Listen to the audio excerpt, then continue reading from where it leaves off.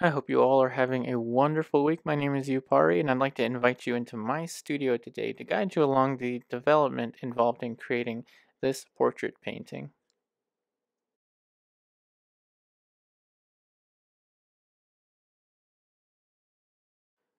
And here we have our model for the week, Jen, and I'm going to keep an image of her to the top left corner of your screen so you can refer to it as I develop the painting. So the first thing I'm going to do is just apply a thin wash of odorless mineral spirits onto my panel.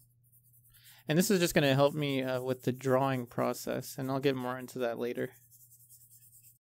The palette that I'll be using today is consisting of lead white, raw umber, alizarin crimson, cadmium red, cadmium orange, yellow ochre, cadmium yellow, sap green, cobalt teal, ultramarine blue, and ivory black. And these are all oil paints.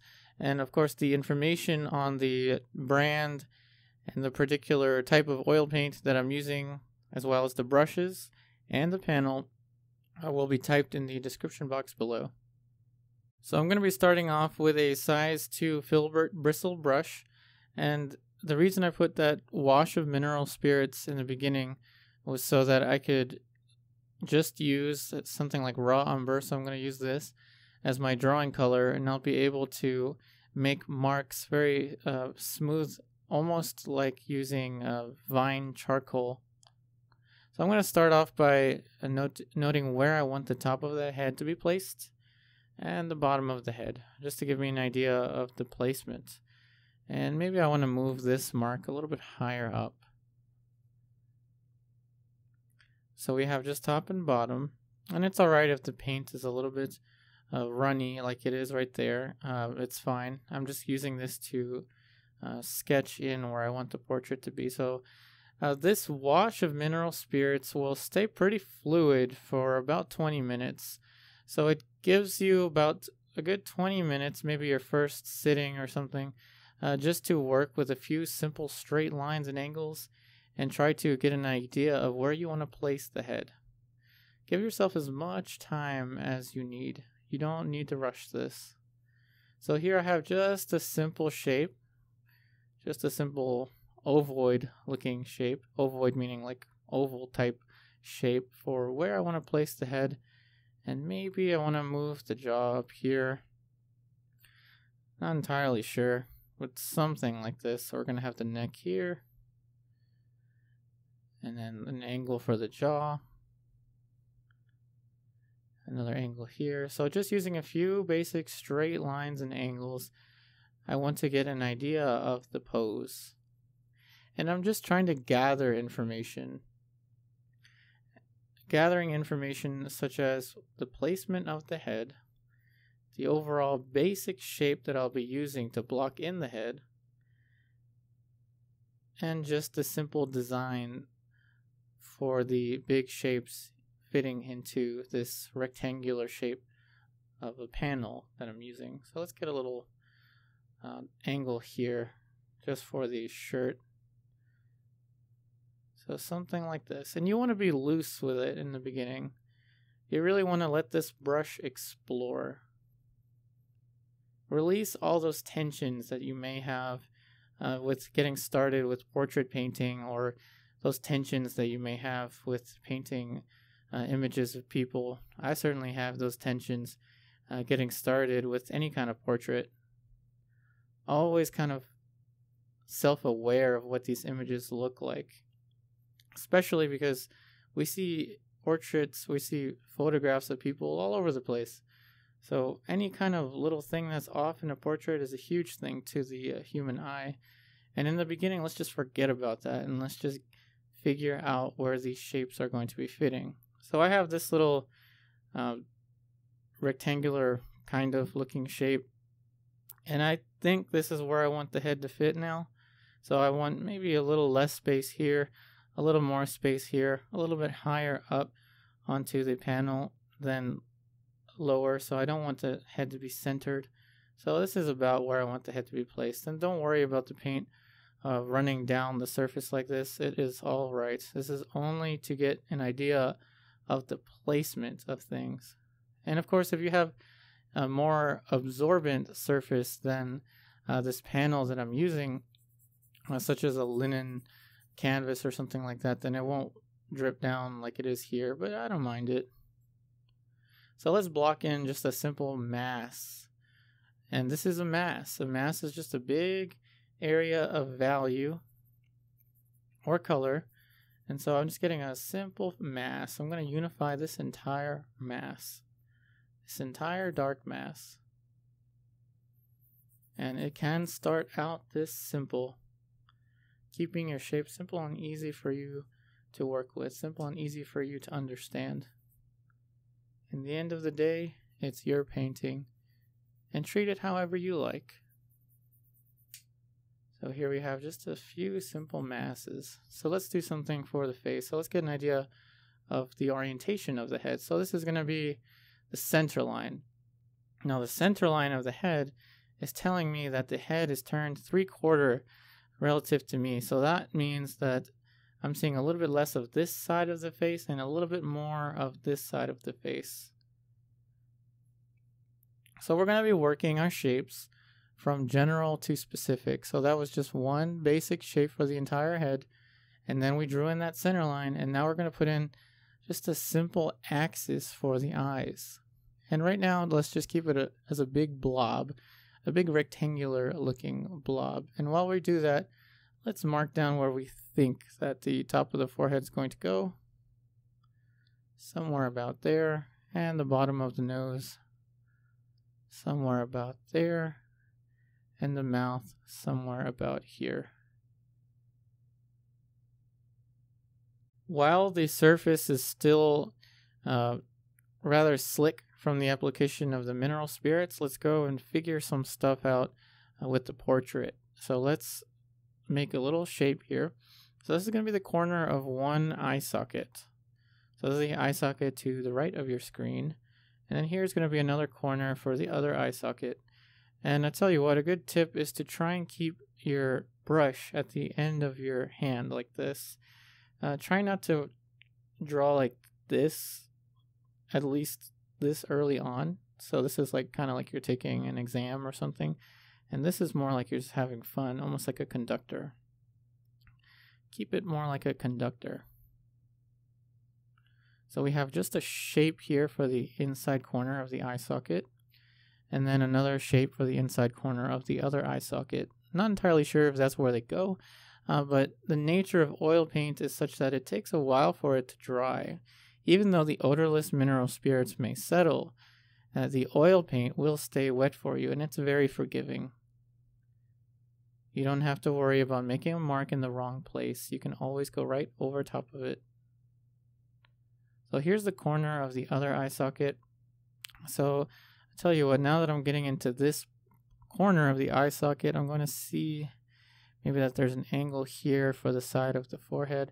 And just using straight lines and angles, so this comes out here, and this is the corner of one eye socket. And then we have the cheekbone, so this is one side of the cheekbone. And then here's the other side of the cheekbone. And so I'm thinking structurally now. This whole thing here is a plane. See that? It's a plane. And so I have this plane protruding out here, and that is the corner of the cheekbone. And I'm gathering information. I reiterate, I'm just trying to figure out and and I, I'm trying to get an idea of where these shapes are going to fit. So here's the brush that I used initially uh, to tone the surface of the panel. And I can also use it as a type of eraser.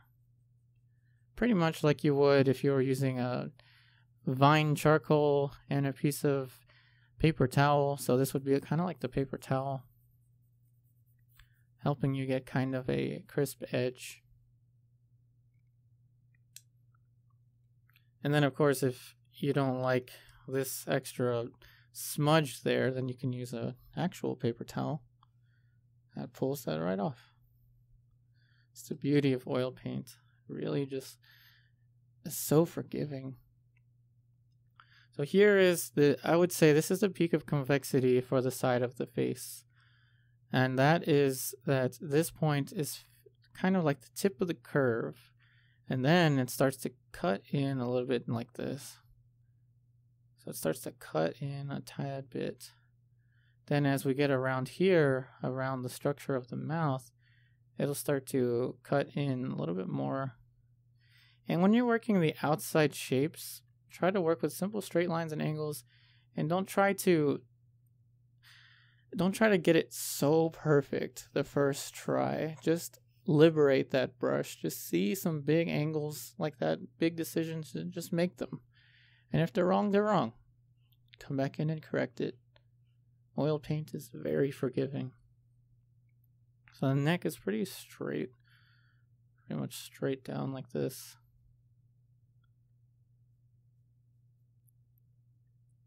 So let's look at the outside shape now.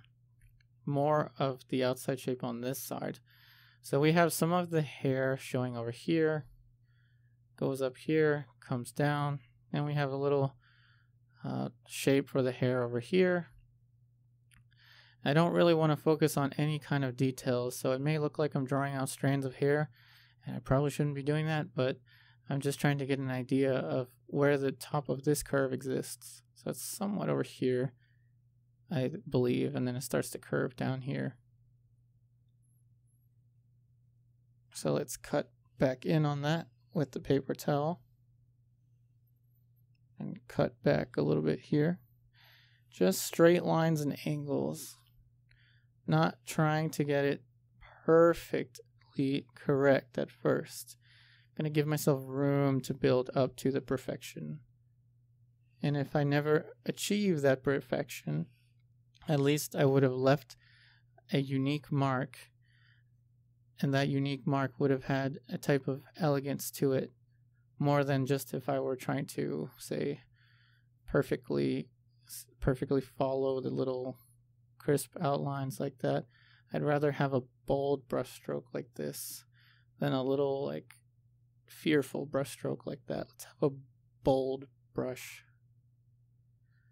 So the ear somewhat over here. And I'm just going to use a single brushstroke to indicate where I think it's going to go. So let's mask this in again because it's starting to drip and that's all right. So this shape maybe comes down like that. Not entirely sure, but I believe it comes down like that. And then we have the shadow actually comes up to uh, the zygomatic bone that is the cheekbone. So shadow actually kind of comes up like this. Again, just big, simple, straight lines and angles. So the jaw is over here. Corner of the side of the face is about there.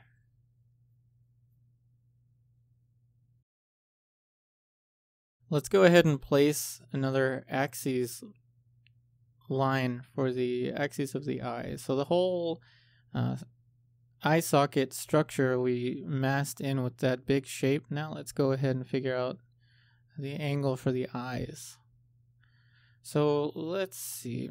So perspective tells me that if there's a parallel line here, and then there's a parallel line, parallel line here, and that the model is pretty straight, as in the head's not tilted too much, and turned in this direction, all that means parallel line here for the eyes, and then parallel line here for the nose tells me that these two lines should meet up at some point uh, to a vanishing point. And that imagine imagine a a railway. So you have two parallel lines and then you have a train at the far distance and that railway would look something like this as the train tracks get further and further away. Now I'm exaggerating that because I'm turning the brushes, but you can kind of get uh, the idea that this angle would somewhat mimic this angle. This angle would somewhat mimic this angle, but they would still look like they would converge to a a uh, vanishing point at some point, even though it's not very evident to me right now. I'm still trying to be aware of that. So here we have just a shape for the eye, for one eye. And let's just keep the eyes as single brush strokes. And let's keep them like that for a while. And I tell you what, we're going to start putting in some information here now for the features. So here's like one little corner for the nose.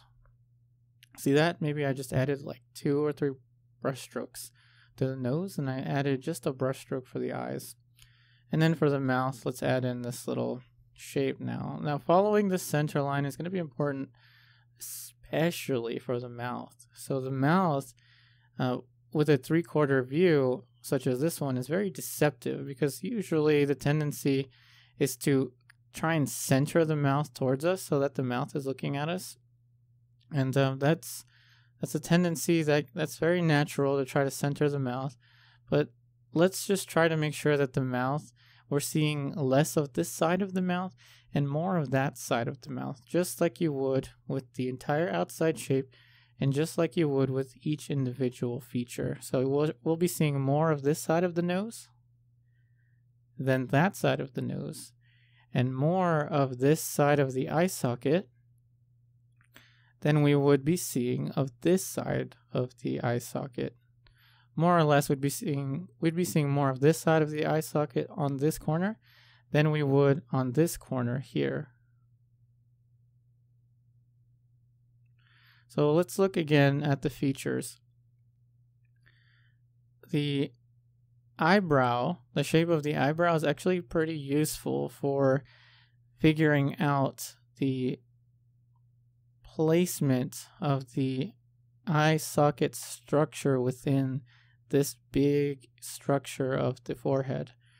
And the eyebrows, usually, not always, but usually will kind of give you this angle here. See this angle that I'm drawing in here? This angle here kind of mimics the actual structure of the eye socket wrapping around the eyeball. See this little angle here? Same kind of thing is going to happen here, but we're not going to see too much of that. Just a little bit. See? Just a little bit of this is showing, and a lot more of this angle is showing.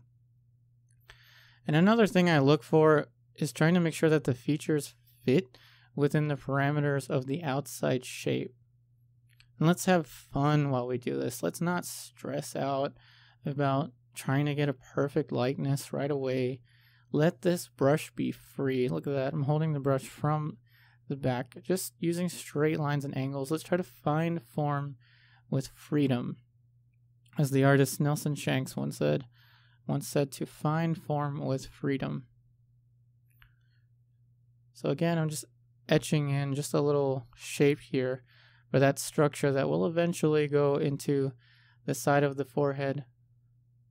And I'm just etching in little bits of information just to help me uh, figure out with more clarity the placement of the light and dark shapes because I'm really going to want to focus on the large shapes and large patterns of light and dark. So here is a little dark shape here for the zygomatic bone. So that's a cool way of saying the cheekbone. So if anyone asks you what that is, you're like, that's the zygomatic area. So that means that's the cheekbone. So this is the cheekbone. And let's just make sure that this angle is mimicked on the other side. So this side here. If you want to know another interesting word, this is the orbicularis oris. This little shape here beneath the mouth. Look at this little dark shape here. So it'll make a little W looking thing. That's the orbicularis oris. Another cool word to think about. And then there's a little dark shape that continues down here. Very simple.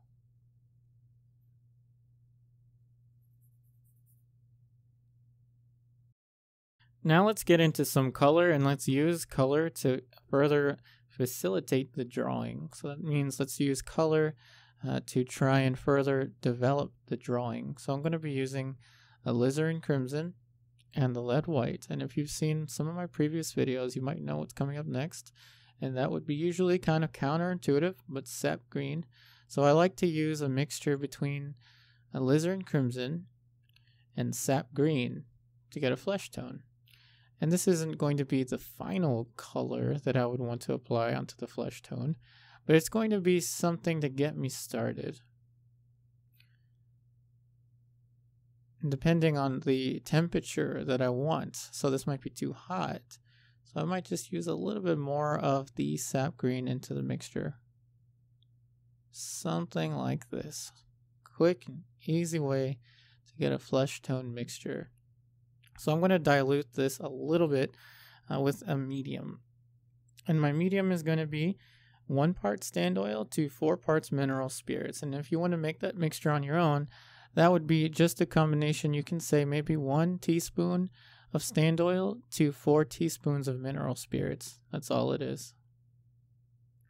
So I'm going to use this now to help me uh, facilitate the drawing. And so what does that mean?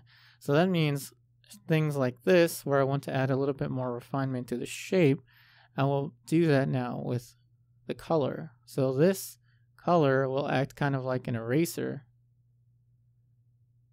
So there's just a little shape here. So let's talk about some more cool names. So this shape here, this is the glabella. So this is the glabella. Let's look at the nature of the glabella. So this is usually a good thing to look at when trying to capture the likeness of the model. Everyone has a very unique and distinct glabella. So this one, let's see. It's a little bit wider down here. So I'm going to add a little bit more space. It's a little bit wider there and a little bit more narrow closer to uh, the nasal bone here. So let's just fill the rest of this color in for the forehead. And don't worry, we will come back in uh, with more refined colors later. So this is going to be kind of like my testing ground. So I'm kind of paving way uh, for the application of the more exacting colors. And again, let's just keep this very fun and simple. Don't want to stress out over this. We want this to be fun. And whenever we make a mistake, uh, let's not keep a mentality of it's all over, uh, that oh no, the eye's in the wrong place, I can't draw, I give up. Instead of that mentality, let's just say that, you know, mistakes happen and they're going to happen. It's part of life. But let's learn from them. Why not? So let's treat our mistakes as learning tools, positive learning tools. So I'm going to go ahead and uh, cover a little bit more of this shape now. So there's a little corner here. And then this plane is pretty broad here, so it's a very distinct plane. I'm going to follow through on the other side. Very distinct plane, so very strong features, elegant features here. This comes out something like this. Then this comes up a little more this way.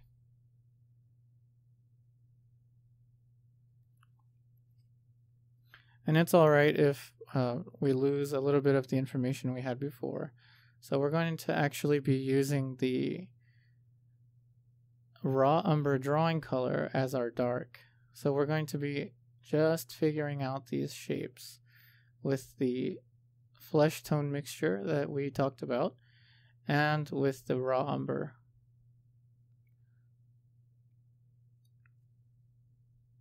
So again, I'm going to cut back into here. And then here we have the philtrum. So zygomatic region, orbicularis oris region, philtrum, and the glabella. Just some names to add to your vocabulary there. Let's just cover this. So while we do this, let's look at that outside shape. So this comes down like this and then curves downwards. Curves a little more. Just looking at the nature of these shapes. So it curves inwards a little bit more there. Something like this. Don't want to be too specific too soon yet. Just want to keep my, safe, my shapes simple and easy for me to understand. And here's a little plane here for the chin. It's a little light plane. Then let's just add a little bit of the glimpses of light here. Very simple.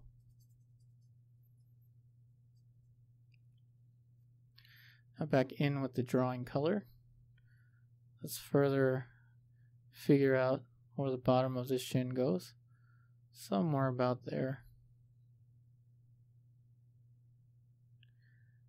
In the corner of the mouth, somewhere about here.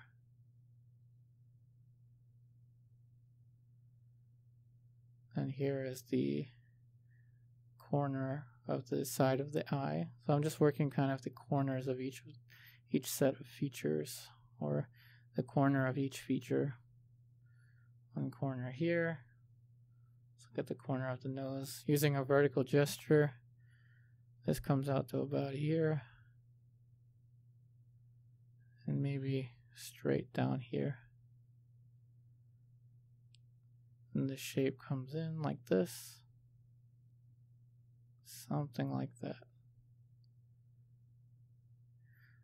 So now let's use the drawing color.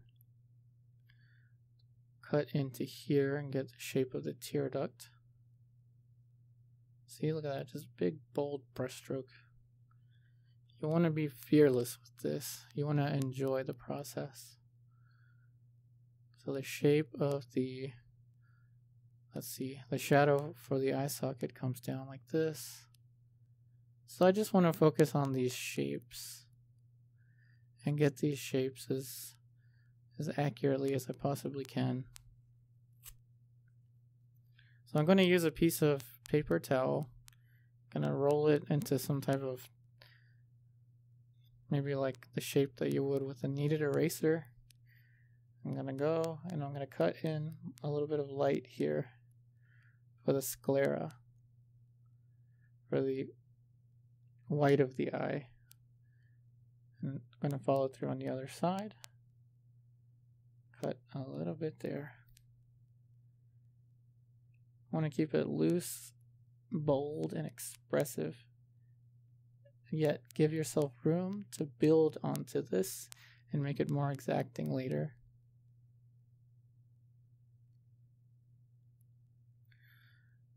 So here we have the top of the eye. Again, I'm just trying to get grasp on where these shapes are or where they could be. You can't start finished, can you? You have to have a process that you enjoy and a process that you can understand and that you can work with. So here's the bottom of the lower eyelid, just a little shape for that. And tell you what, this area is very dark, so I'm just going to let it be dark. And on the other side, we have the dark for the top of the eye, this dark right here. And then this gets darker over here. And then tell you what, this whole shape is pretty dark a little bit bigger.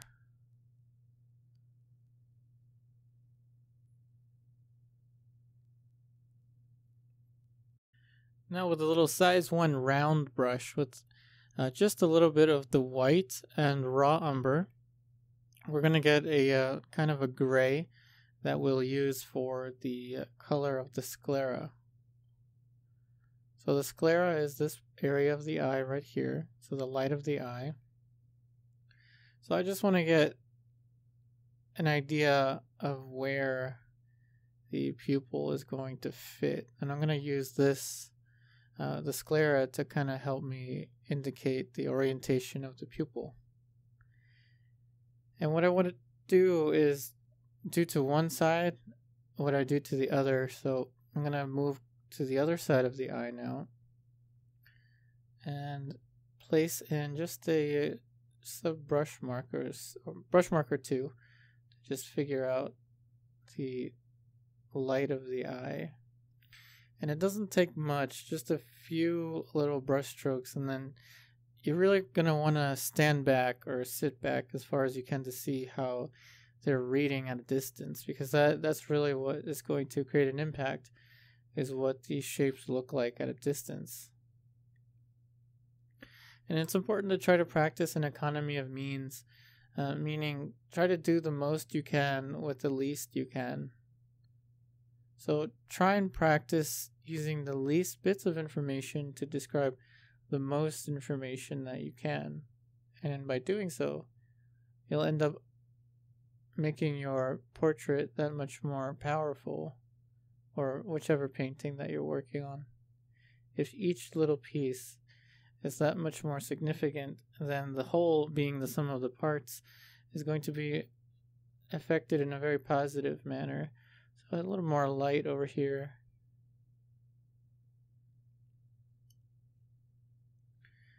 And just using the raw umber assures me that I'm not going to be going straight black with any of these shapes. Now the issue with painting something like this straight black, even though it may look like that on the computer screen or on the photo reference, is that straight black is the darkest you can go. And would you really want to put that dark anywhere on the painting? You would want to have some type of atmosphere uh, to these surrounding shapes. So let's look at the angles for the eye. So we have a very definitive mark here for the tear duct.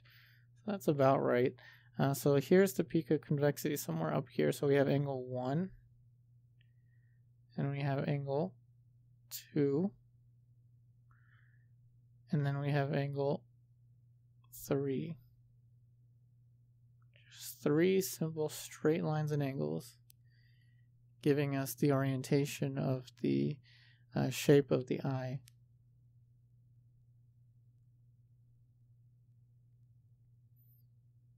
And then this angle is a little more sharp, a little further down like that.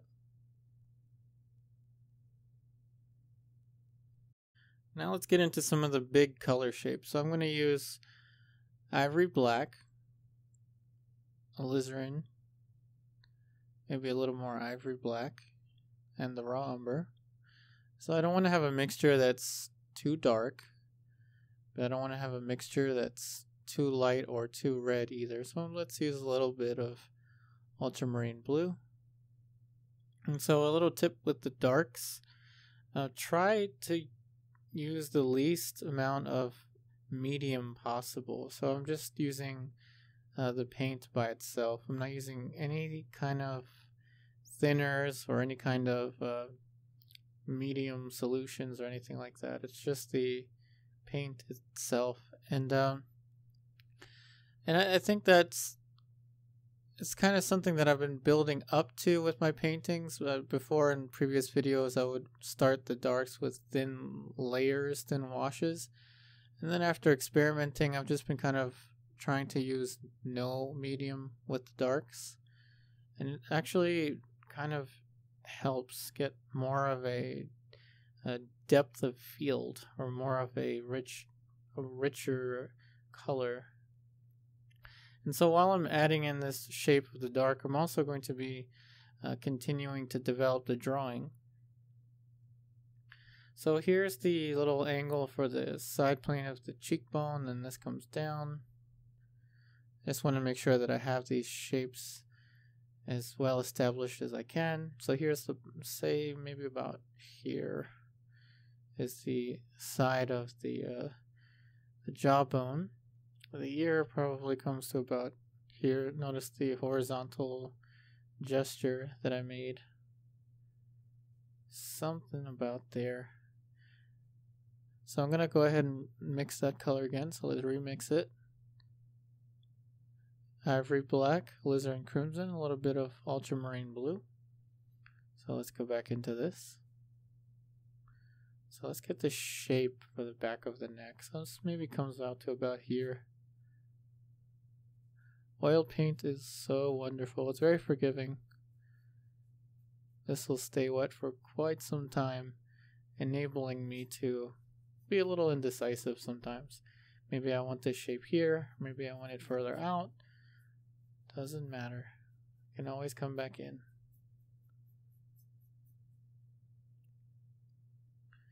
So let's get this shape a little bit further back here.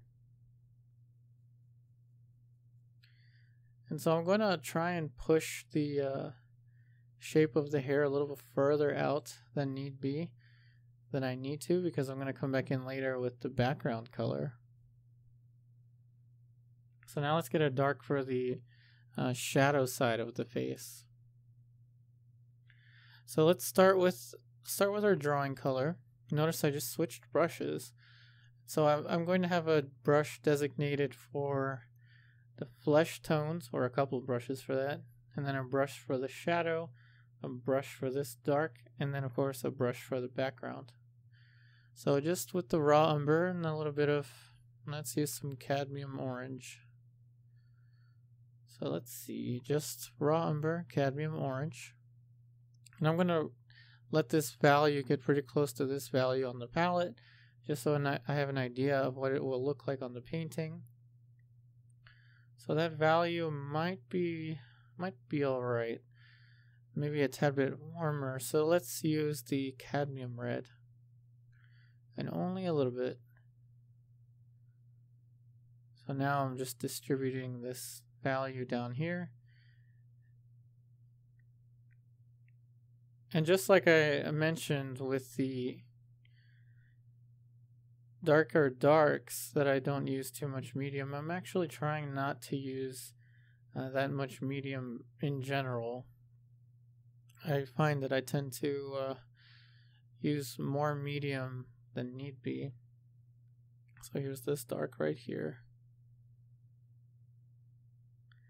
And this dark shape goes here.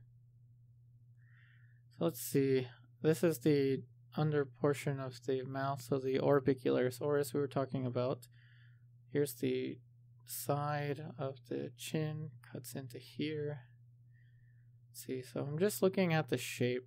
And tell you what, so with the light and dark shapes, it really helps to squint. So at this point, maybe closing one eye and then squinting can help get an idea of these shapes. A little more cadmium orange into this mixture. I'm really fighting the uh, tendency to dilute the paint. I'm trying not to do that. So let's see, just with the paint itself. A little more cadmium orange. Let's cover this now. So the uh, the image was taken under natural light, so meaning uh, from a sky window. So the light's probably coming from about this direction, and it's fairly cool. It's fairly cold. So uh, my guess is that a cool light will introduce a lot of cool, cool-ish flesh tones up here, and then maybe just optically we will see less cool colors here and a little warmer here. That's kind of a trait or an aspect of painting under natural light. You get these really uh, rich and warm shadows. So I just added a little bit of cadmium red, a little more for this area here. Let's get more of a specific shape for that. And let's not forget the ear. Let's put in that shape for the ear. Now let's get something down for the background.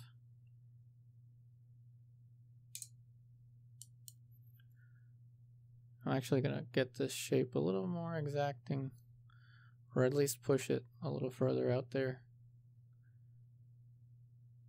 So for the background, let's see. Switching, of course, to a different brush. Here's a case where I will dilute uh, the paint a little bit. So I'm going to, so I diluted it with my stand oil Odorless Mineral Spirits combination. So I have, let's see, I'm going to start off with Ultramarine Blue and Ivory Black. And of course with the white. So a little more ultramarine blue. Ivory black is a nice, let's look at it as a muted dark. So it kind of brings down the saturation of a, of a blue. So it's more like a muted blue. So let's see. Is this color working? So I'm just looking at this color, its value in relation to the hair. I think it's working, so I'm going to go ahead and just cut back into here. Might need to get a tad bit more on the greenish side. So I'll add yellow ochre, a little bit of yellow ochre into that mixture. So let's cut back into this shape. So this curves up like this, wraps around, then curves down here, then curves inward. And it's fairly straight over here. Fairly straight. And this cuts in. So when you're first blocking in your colors, like I'm doing now, there tends to be kind of a shock factor. Like, oh my goodness, the painting has just changed completely. And that's the kind of effect that happens when you're working with mass, with large masses of color and value. And uh, that's a very useful way of working with oil paint, since oil paint takes forever to, to dry, meaning about a day or so. gives you a lot of time to to work to draw with color, whereas other mediums require much longer uh, developed linear drawing. In this case, we can draw with mass, these large masses. So I'll tell you what, so there's kind of a shock factor uh, when you're first blocking in your large masses of color. And that you kind of just get used to it, the way that it looks. You get acclimated to the color decisions that you make and then you tweak them. So you'll tweak the background color in relation to uh, the shadow color, or you'll, you'll tweak the shadow color in relation to the flesh tone colors. It's all about relating each shape of color to the surrounding shapes. So I added a little bit more cobalt teal. So we have a strong angle here. So I want to make sure that I get that angle. Notice how we're drawing out the shapes with the color. So this comes fairly straight down here. Then maybe this cuts in a little more here. And this cuts in right there. Not quite sure. But again, I'm just trying to get a get acclimated to these large color shapes. And then I can come back in and add more specificity into these areas. Now let's work some of the planes of the face. So we're going to think about the uh, large overall structure and we're going to construct uh, the specific shapes on top of the large underlying structure. So let's look for the large underlying structure. So let's start off with some of the, the half halftones. So I'm going to be using now a alizarin crimson, the lead white. So, if you're wondering why I'm using lead white, uh, it is because it's a transparent white, so it allows me to use more of it.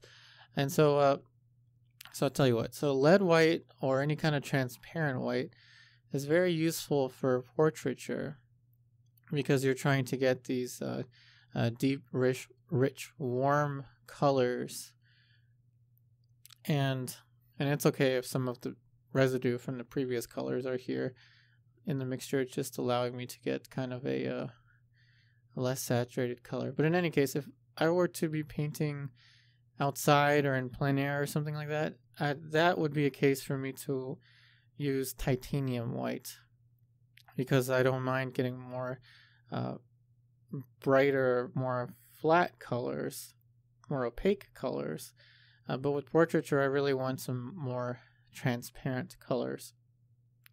So I'm going to be creating a little value scale here on the palette. And I'm going to utilize what is on the palette right now. Notice this tone here that I'm mixing. And it's actually, this might actually be kind of useful for the half tone. Or maybe it'll be useful, not entirely sure. For this little side plane on the side of the nose. Eh, might need to get a little darker. So more alizarin crimson and the sap green back to the alizarin crimson. Let's use cobalt teal that time. So a little cobalt teal. So now let's go back to the, say, cadmium orange. And again, I'm not really using too much medium with these darker values, but I'll probably use more for the lighter values. So let's see if this value works.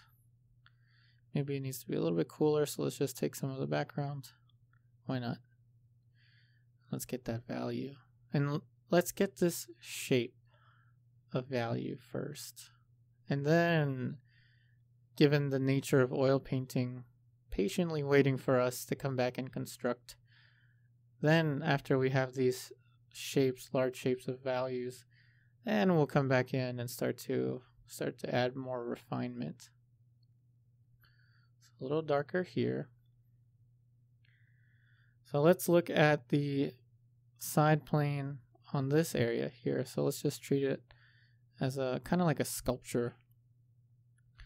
So we're kind of like in a sculpture carving out one side. So this is a very clean cut, a thin slab.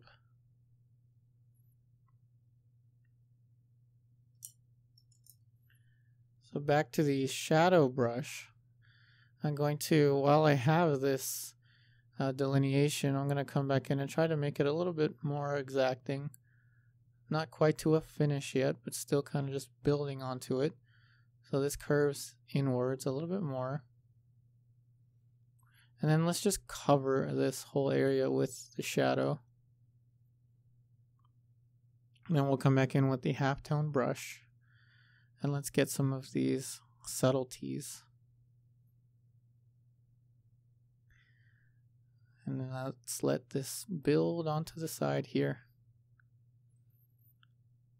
So we see that we're getting some turning values. So these are the halftones that are going to be describing the curvature of the light into the dark. So let's let's level this whole area now. So there's a big dark over here. And then there's a big half tone over here.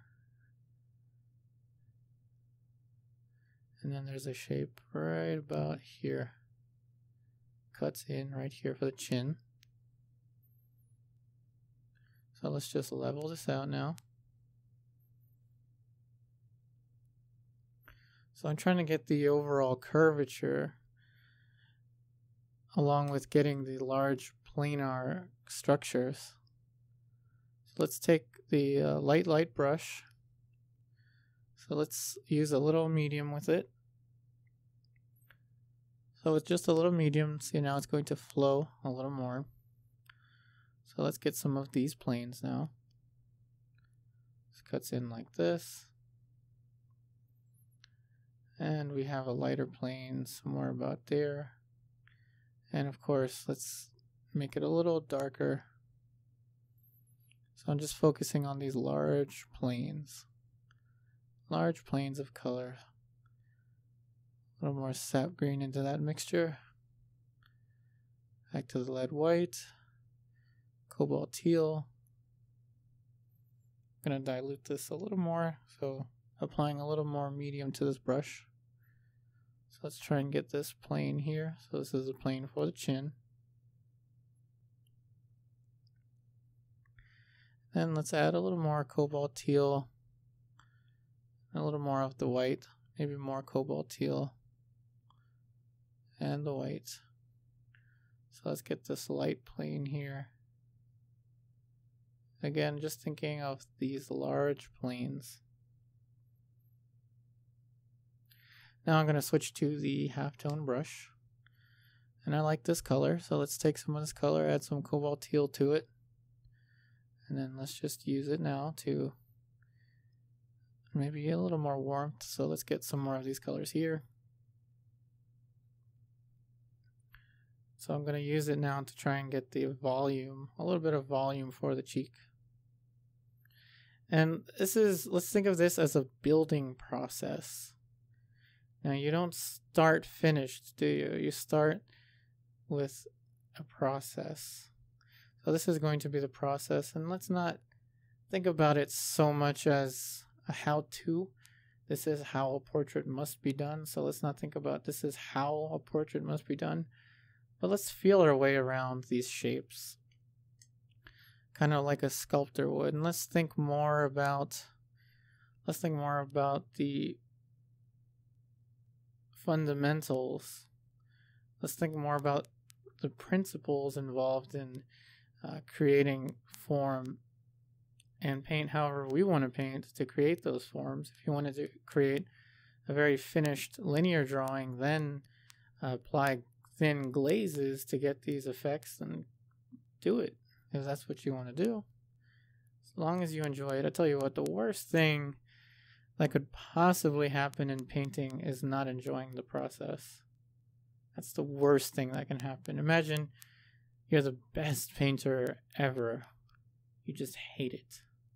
You hate painting so much, you're bored of it, but you're the best.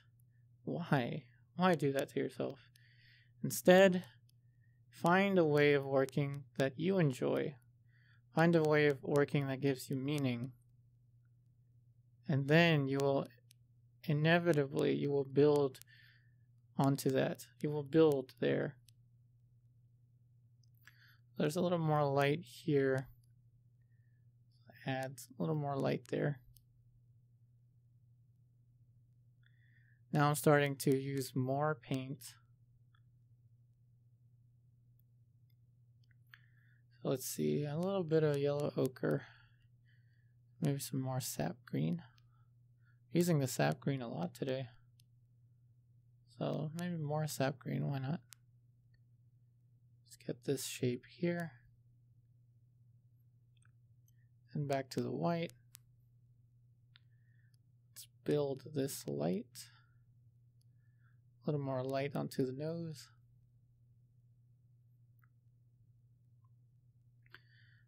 And this is about just building the volumes for the portrait. And then after we can after we have the volumes, uh, then we can start to apply more refinements into the picture.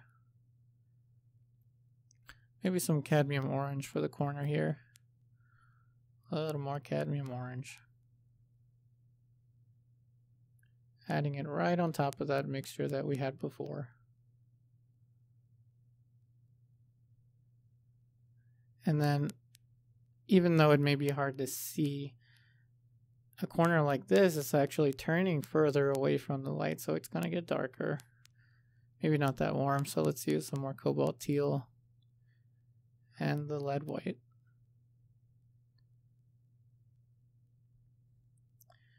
Tell you what, studying structure and studying form kind of teaches you to know what to look for. So I see this lighter region here, so I kind of left it there.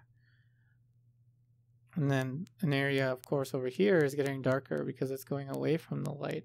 But this is curving even further away from the light, even though it's hard to see on the image. This would be darker up here.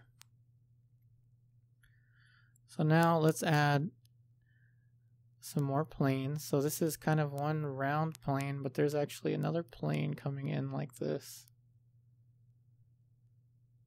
And then curves out like this. So this plane that I'm talking about, it has a lighter region. So let's switch to the light light brush. Maybe some cobalt teal. A little more lead white. So it has a lighter plane right here. So this is the frontal ridge. And it's receiving much more light. See this plane is wrapping around here giving us uh, some values that are describing the front of the skull emanating from the forehead here. Very slight, but it's still noticeable. So then, of course, this value needs to get a little lighter, but not, this needs to get a little lighter, but not quite as light as that. And I wanted to make it warmer, but maybe too warm there, so let's use the white to cool it down a little bit and to bring down the value. Notice how we're getting some subtlety there now. Let's just let that carry through over there. So it's more of the lead white and maybe a tad bit of the cadmium yellow. Let's get some of these lights now. It's very nice and bright. So I'm going to add maybe a little more of the lead white. Try and get that value. And then it kind of gets a little further down here, then starts to dissipate as it rolls off to the side plane there. Maybe a little more cadmium orange here for this plane here. Just a little more. So we're still going to work on these large planes a little bit more. And I'm just going to try to eliminate some glare using this large uh, synthetic flat brush. So I'm just using it to uh, kind of move the paint or herd it in this direction to try and eliminate some of the glare.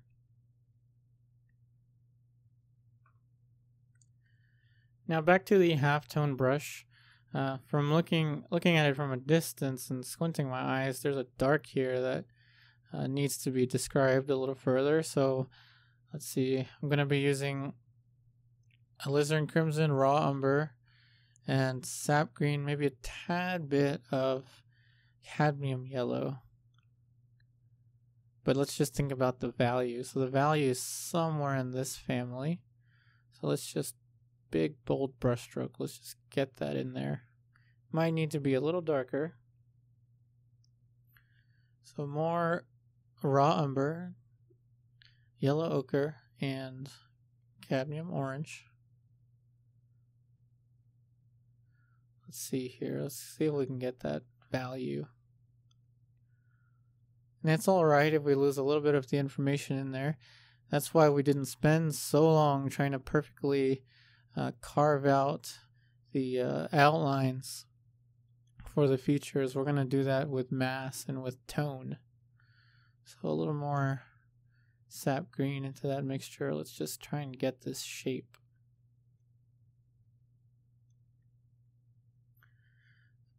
So again, I'm not afraid to lose any bits of information in here. Rather, I'm trying to construct the volume of these shapes. So that looks about right. So now I need to go back in with the hair color. Hopefully that color is still on this brush. And it is. So I can carve right back in there. Let's just use it for the eyebrow. Take a risk here. Just a shape, simple shape there.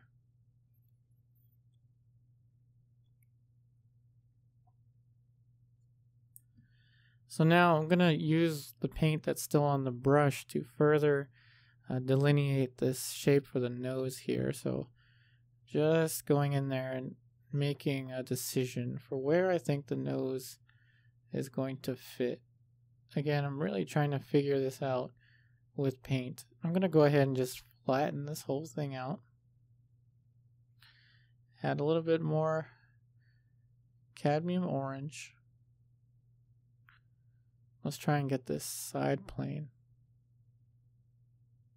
Have you ever seen a painting or a portrait painting that you see it from a distance and you're like, wow, that's such a nice painting. And then you approach it and you're like, what?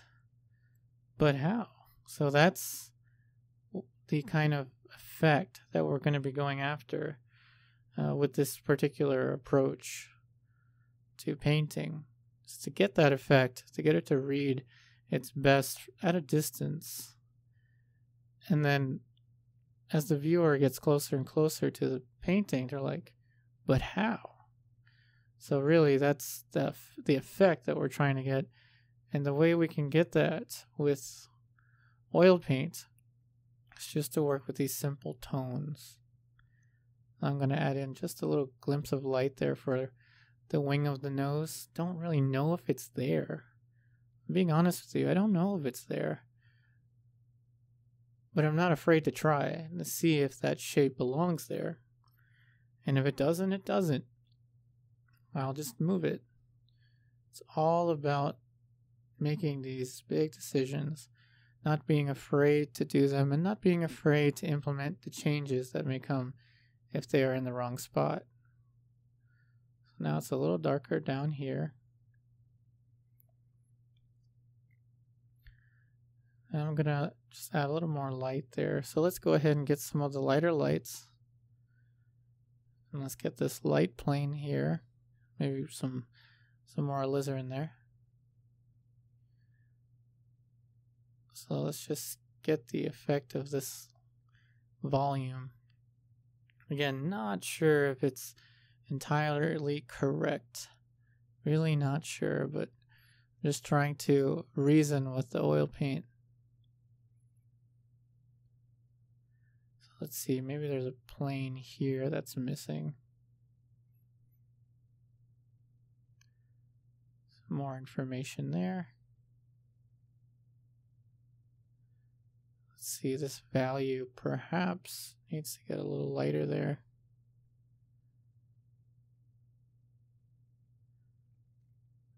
So now for the lips. I'm going to just soften this a little more.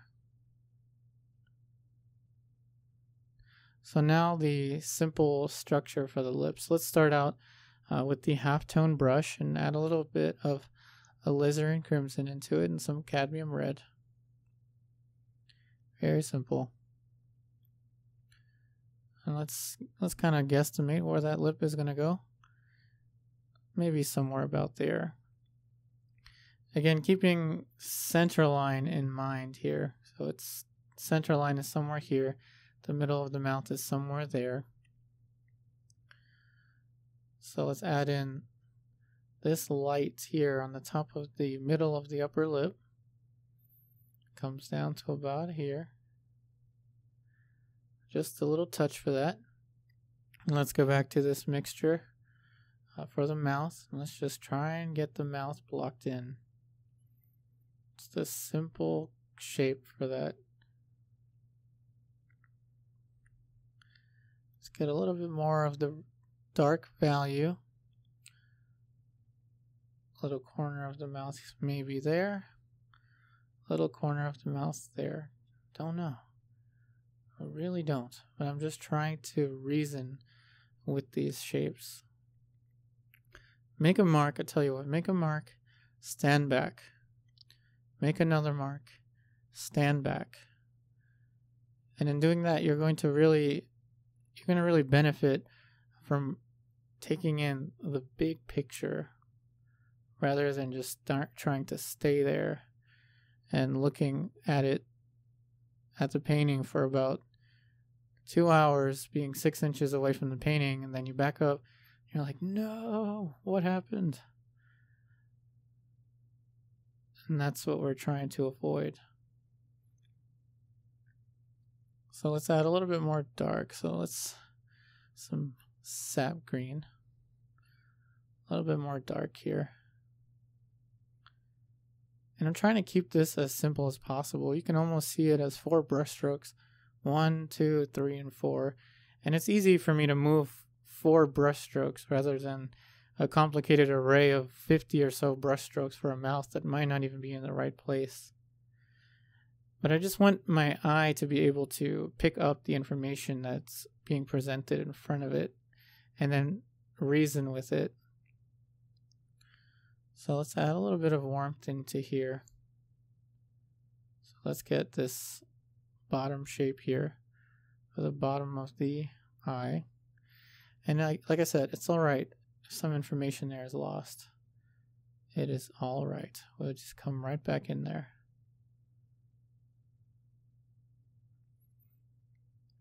Then this cuts down a little further here. It's more of a dark shape here cuts in. So we have one, two, three, four. Now let's go ahead and uh, get more of this value for the side of the cheekbone. Maybe a little more alizarin crimson. Let's try and get that shape. Something like that.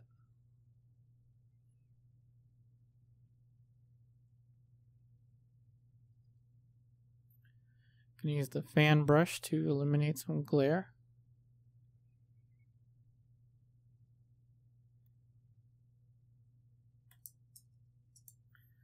Now back to the shadow brush. If I can find it. Here's the shadow brush. Hopefully I still have some of the shadow. Yes, I do. Alright, so let's see. This comes out a little further here. And then this shape is very hard to tell from the image, but I think this comes a little further up like this.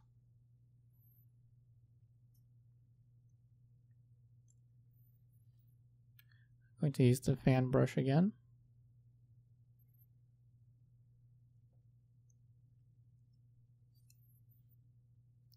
Now switching back to the halftone brush, I'm going to just try and get some somewhat of a middle warm kind of pinkish color. So this is similar to what I used for the lips, just a little lighter and cooler. So let's get this transitioning value. So I'm not trying to search any, I'm not trying to search beneath the surface for something that isn't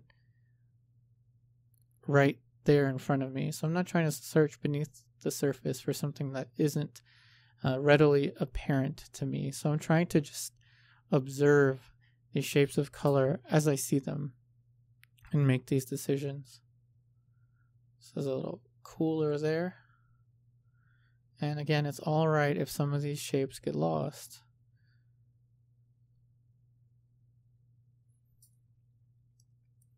Let's see, a little more light. Maybe not that pink. So I'm going to wash this brush. So with the mineral spirits,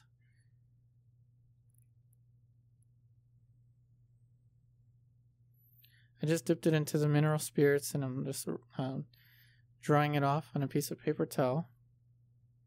Let's see if it's, yeah, it's relatively clean. I got some of the pink off.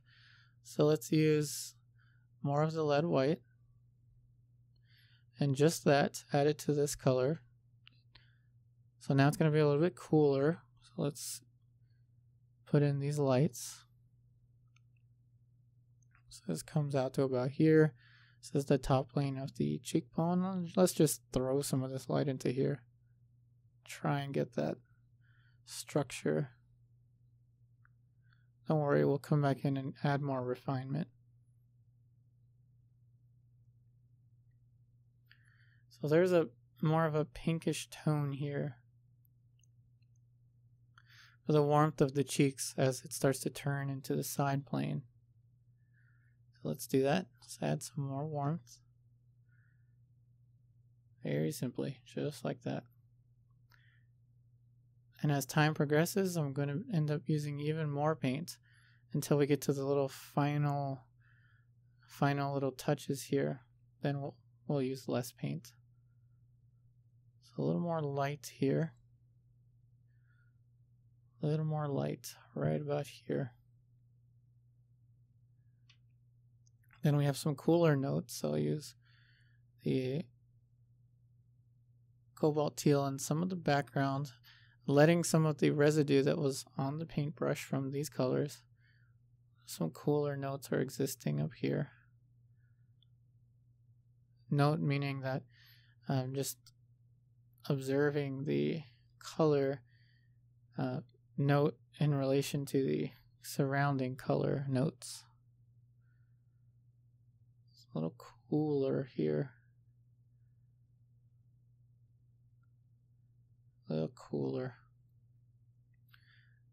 And then, of course, it's going to be much more pink here. So let's just go ahead and add that pink. So with the cadmium red, a little more cadmium red. And this, though it looks very bright, this is still kind of like in a half tone region. It just looks brighter because it's a little more saturated. So let's add that, that warm color. And let's add some of these colors here. A little glimpse of light that we have there. But not too much. back with the half-tone brush.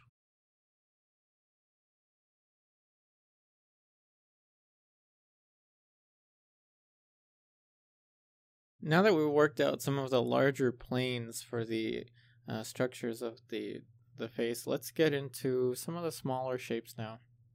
So I'm back to a, a size 1 round brush, so I'm going to use this to help me uh, add some more information into the uh, features.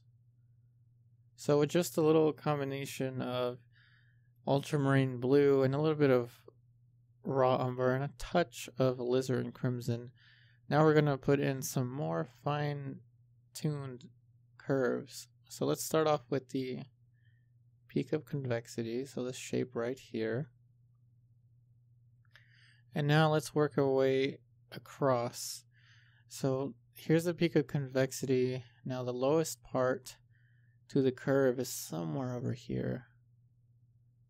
So just a single brush stroke for that, just to indicate where it is. And there's going to be a little bit more warmth to that actually, so let's get some some more alizarin crimson. So let's just sneak some more warmth into this shape. Just so it's barely noticeable. Now I'm going to add some more ultramarine blue and some more raw umber to get the dark back. So this cuts in a little bit like this. So it's fairly round, but it's not a lemon shape. Now this comes up a little further. So we have the upper eyelid, but it's fairly dark. When I squint down, it's hardly even noticeable. Pretty much just a dark shape here.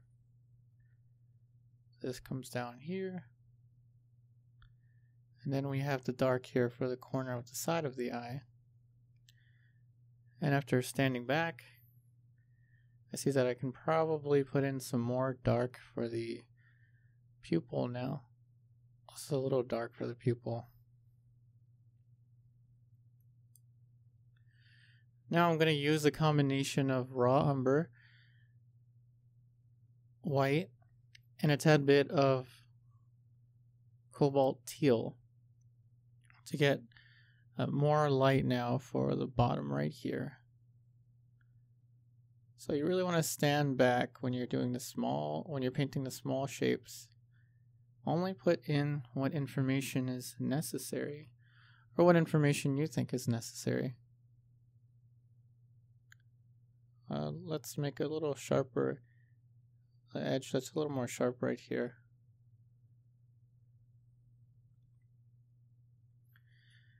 And now I see a little bit of, a little more light here as the eye is wrapping around.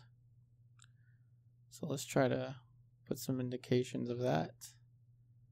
And with less pressure and getting a darker value as I move the sclera. Very subtle.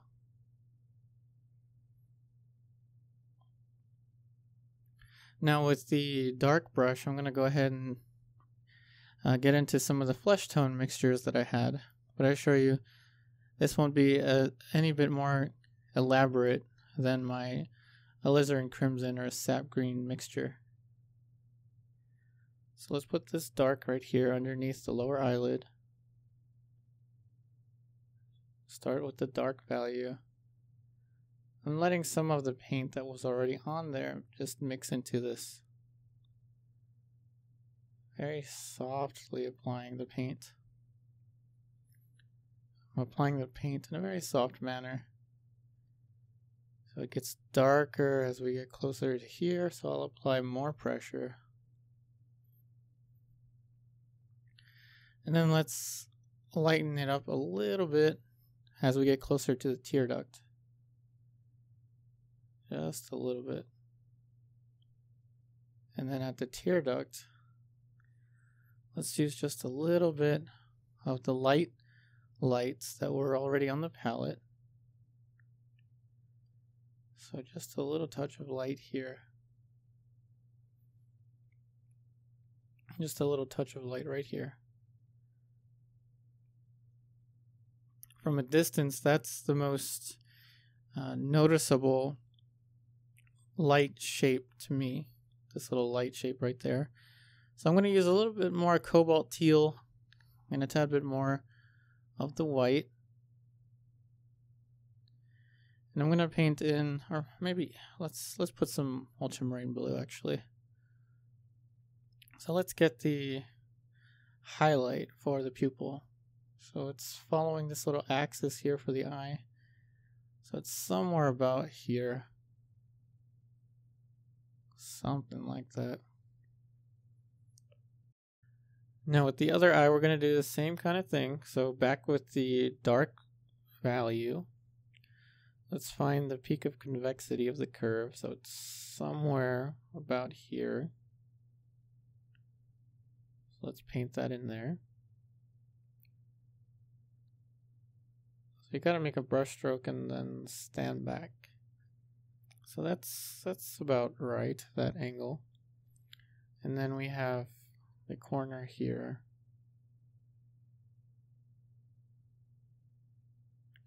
So I'm letting the uh, the paint that's on the brush mix with the paint that's underneath a little bit. It may look like the layer underneath is dry sometimes just because of the uh, amount of force that I apply, meaning not applying that much pressure. Uh, but I assure you that I'm letting some of the paint here mix with the paint underneath. This angle might come up a little higher. Something like that.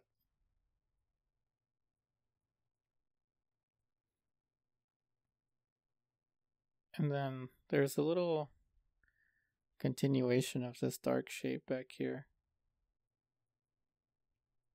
So now let's switch to the the brush with the raw umber, white, and tad bit of cobalt teal mixture. So right here, we're seeing a little more of the white of the eye. Just remember that value is not like a bright white value. It's a very neutral, almost like a halftone, really. And we're getting a little glimpse of light on the other side. Very tiny. But that might be too much, so let's switch to the dark brush and cover that up. It's alright. Oil paint is very forgiving.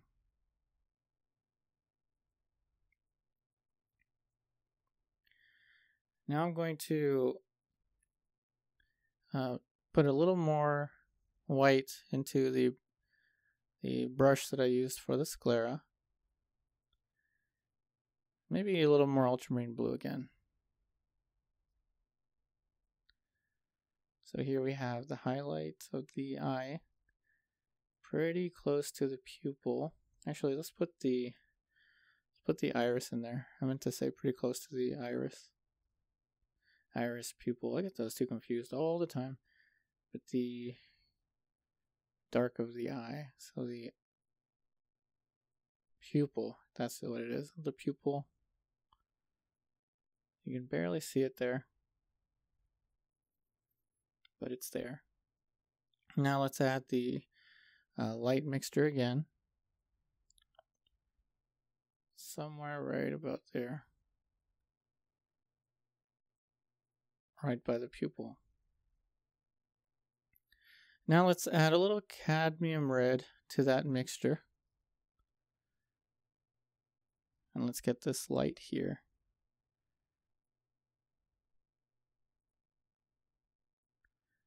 This little light on the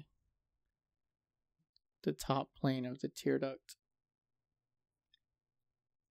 And then I'm going to add a little bit more of the flesh tone mixture to this brush. And we're seeing some kind of a little glimpse of light right here.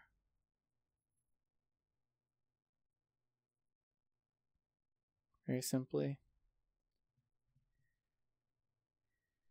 And that kind of information I'm gathering primarily by just standing back and then observing what is the most important pieces of information. So you can stand back and just get your first impression of the shape of the eye, the structure of the eye, and only place in what you really need to. So let's add a little bit of a darker value squinting also helps uh, see the smaller bits of information and only the essential bits that you need. So I added a little bit more of the half tone that was on my brush. This is probably used for uh, the shadow actually. But I'm letting it mix with the paint that's already on the panel. So it's getting lighter when I apply less pressure.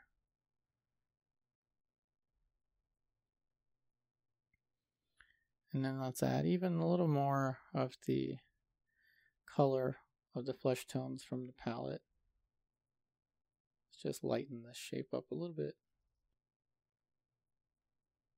So with the nose, I'm going to use the same uh, two brushes that I was using for the eyes. And I'm going to try and figure out the shape for the cast shadow of the nose. So let's see. I'm going to try and mix that color that's beneath the nose. Uh, so it's just the combination of alizarin crimson and the sap green along with the white try and get this mixture back. So that's close enough to start to draw with. So let's first pay attention to the center line. So the center line is about here. So we can start from there. So this is going to turn upwards like this, following the center line. And then it's going to go back down again. So I'm just trying to pay attention to the shape that the shadow is making. So I'm going to go back uh, to the shadow color. So I have the shadow color on the other size 1 round brush. So let's see if this is it's probably too dark. Maybe some some cadmium orange to add some more warmth and to lighten this up a little bit. Yeah, about that. Alright, so the shadow it's coming it's coming out a little bit here. A little slight angle there. And then it turns up. Something like that.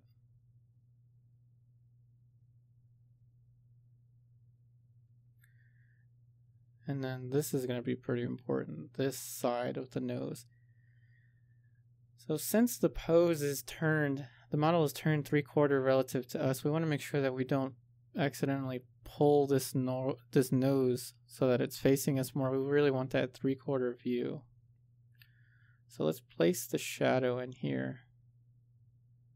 The angle of the shadow on the wing of the nose. I tell you what, there's probably a little more warmth there. So let's add some cadmium red into that mixture. A little bit more warmth right here.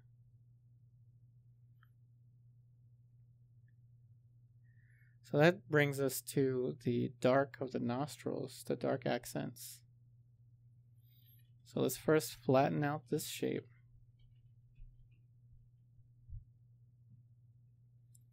Now we're going to add a little more ivory black into this mixture with a tad bit of raw umber.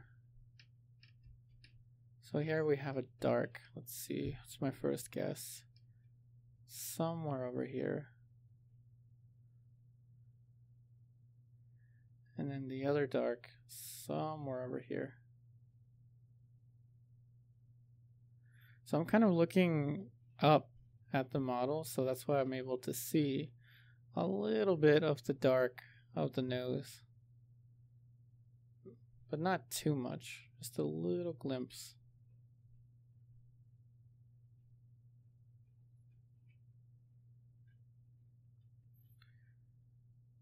So let's go back to this shadow shape. So it's going down a little bit there. And now we have a shadow coming up here. You see that? This is the bulb of the nose. So let's add a little more warmth to it. Not too much. So let's try and paint the shadow of the bulb of the nose. Just very gently. And again, I'm allowing the paint that's underneath uh, to mix with these colors. So let's make this corner a little darker here so we can describe the light on the wing of the nose there. Very subtle. The reason I like these size 1 round brushes is it's almost like having a sharpened pencil really.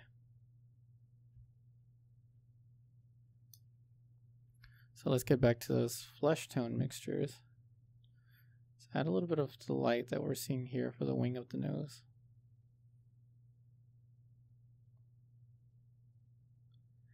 Less pressure makes it not as bright.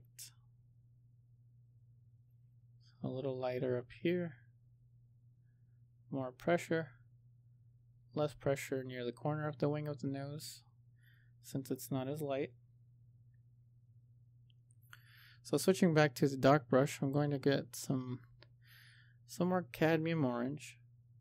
And let's just paint in the reflected light here. So reflected light, it's a good time to implement a color change instead of a value change. So I changed the warmth here just a little bit to show some of the reflected light. Maybe some here too.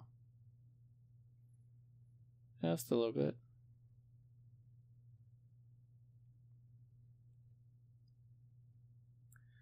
Now with the flesh tone brush, I'm going to add some of the light on the other side, uh, the other wing of the nose, but I want to make sure not to make this wing as big as this one. I'm going to be seeing less of this wing, and that's because the model is a three-quarter view relative to me.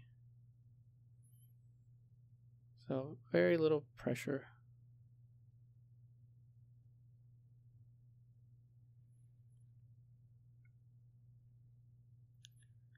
And now I'm going to make it a little lighter here, so a little more pressure here. Now that's a good area for a lost edge. So that edge is almost lost there. So I'm going to leave that be. And I'm going to add a little more alizarin crimson to this brush. I'm going to go ahead over here and add another half tone for the bulb of the nose. Very lightly. Almost hatching there. So now, now hatching is like hatch marks with a pencil not like hatching an egg, but like when you're drawing with a pencil, you make lines in this direction, make lines in the other direction.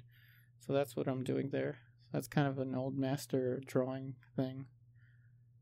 But nevertheless, all I did was apply less pressure there just to make it a little darker. So I'm adding a little more white and cadmium orange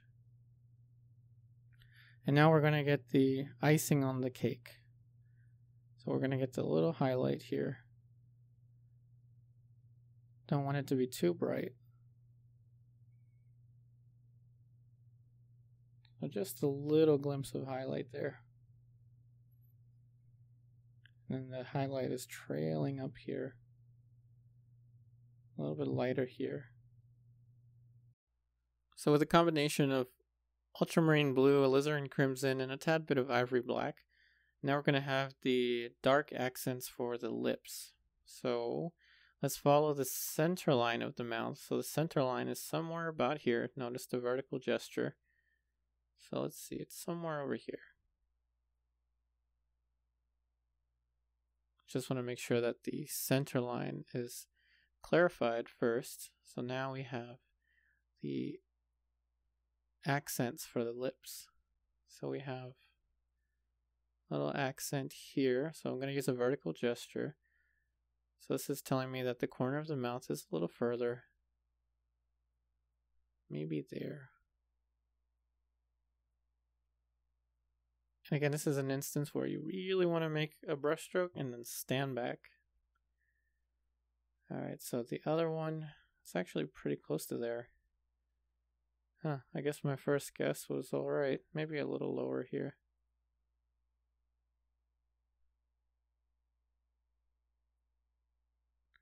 Something like that. Then let's do something. Let's make a brush stroke. Spin the brush a little bit here. One smooth continuous mark. Let's see what happens. More pressure over here. Experiment with that. Now with the flesh tone color, let's go ahead and uh, clarify this shape a little bit. Almost looks kind of neat, but let's add some clarity to it.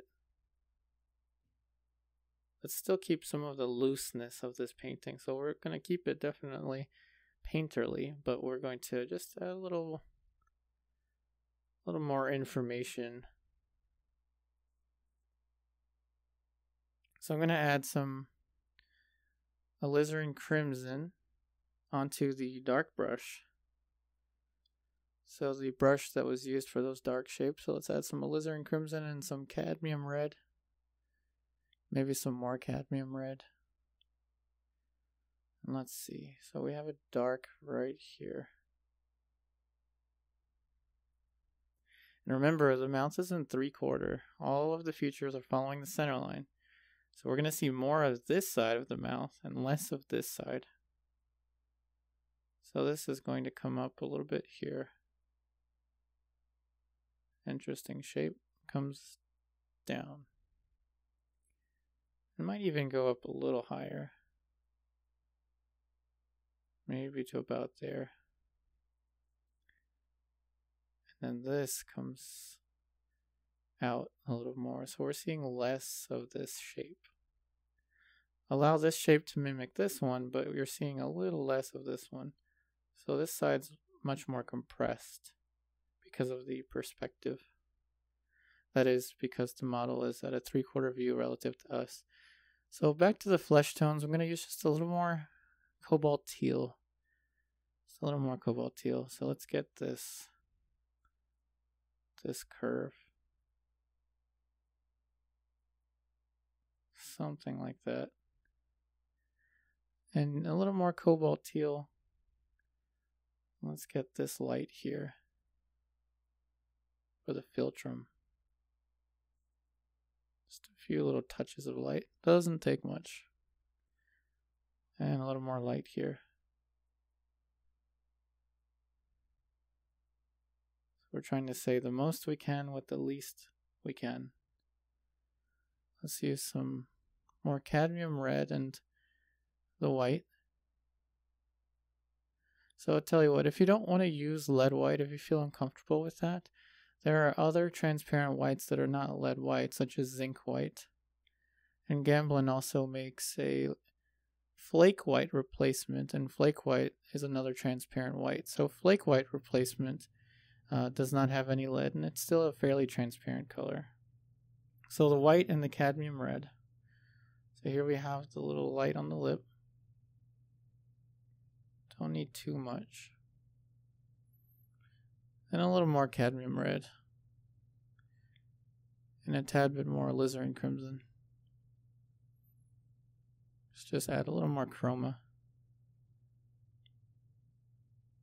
Right there, touch of chroma.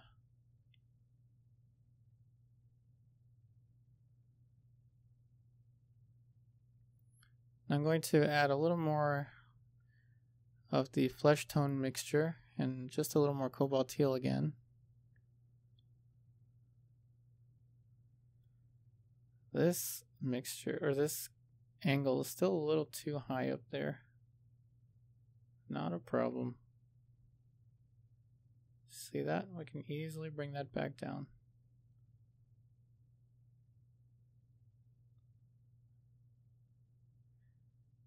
And then let's actually take the time to make this shape a little bit sharper there. Sorry, I just touched that there. That's all good. Paint is forgiving. The oil paint is forgiving. Let's add this dark in here. And actually, you know how they say we don't make mistakes, we just have happy accidents? Might have been a happy accident because I almost, I actually almost forgot. There's a little bit of light up here. Just a little bit of light. So let's add some more cadmium red. I'm glad I messed up right there. So there's a little more light here.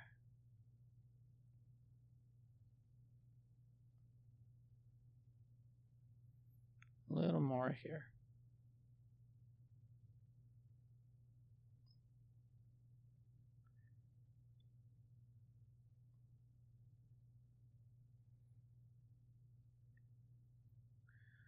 So now we can go back to the light. A little bit of cobalt teal and some of the white. And let's paint in that light.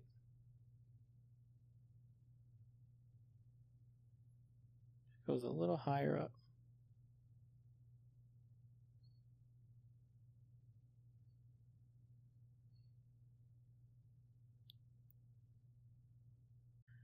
Now let's add just a little more information into the hair.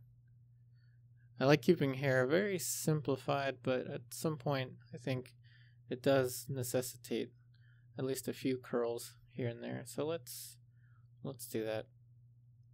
So with the ivory black, and again, I'm not using any medium with the uh, the dark shapes. No medium at all. So this brush hasn't had any bit of mineral spirits or uh, mineral spirits mixture. So let's get this dark. So right about here is going to be the darkest dark that I'm going to want. And then I'm going to put a little more raw umber just to make the value a little lighter. And so let's go ahead and just make some little indications here. Very calligraphic, if that's even a word. Let's just think of the calligraphy of the brushstroke. Just single little brushstroke like that.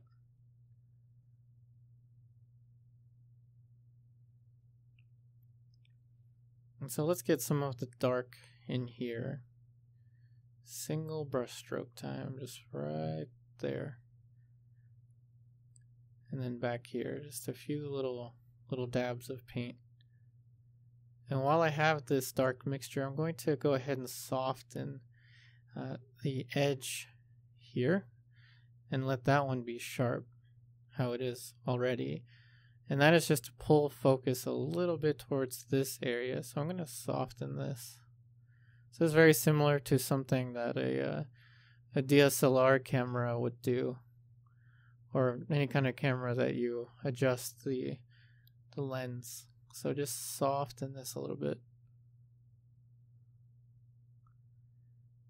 I'm just lightly touching it just to uh, make the edge a little softer. And let's get this corner back. I noticed we kind of lost it. Very simply.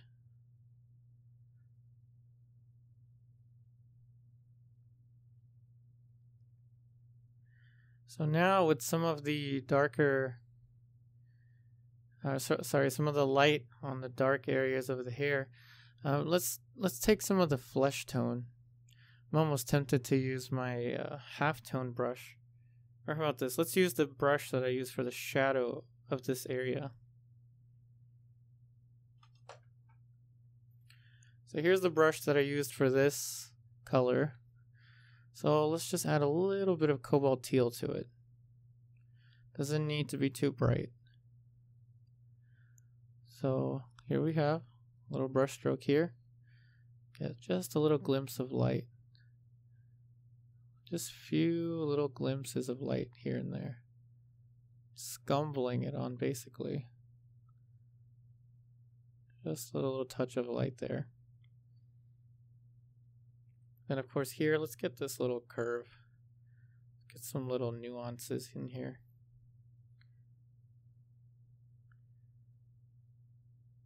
Very simply, I'm just trying to describe the movement and the rhythm of the hair. Let's let some of these brush strokes here show.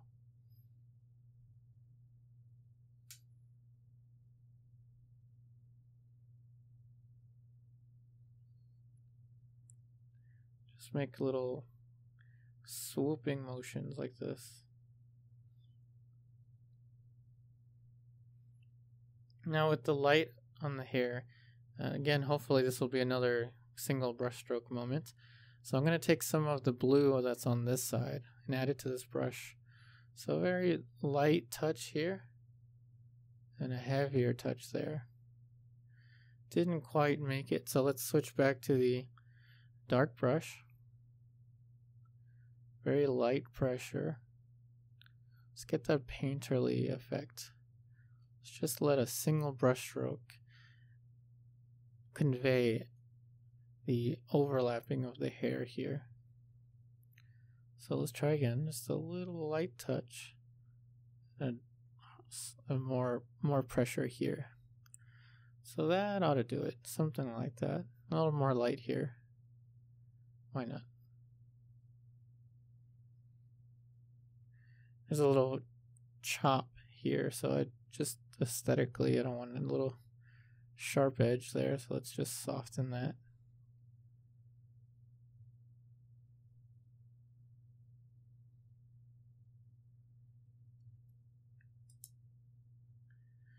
Here's the brush that I used for the background. Hopefully it still has some of the paint. And it does. So that fixes that edge right there.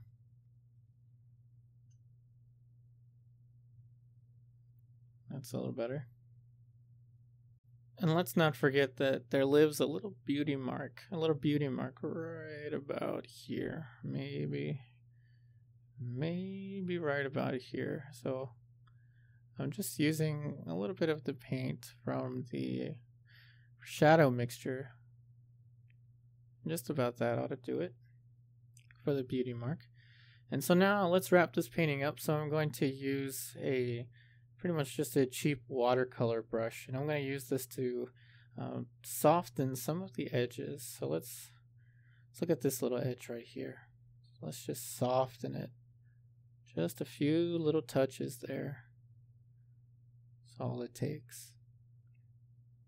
So I pretty much dry clean this brush this little blending brush if you want to call it that. Uh, just rub it up against the paper towel so in case you're wondering how I clean that, that's how I clean this brush, just so I don't get any mineral spirits on it. Let's look at another edge. Maybe this one. Soften this edge just a little bit. All it takes is just a few little touches to soften that. Then this area here, just a little softer. And with that, we have the conclusion of this week's portrait painting demonstration. Thank you so much for watching. I hope that this video helps you out. I wish you the best in all of your artwork, and I'll see you on the next video.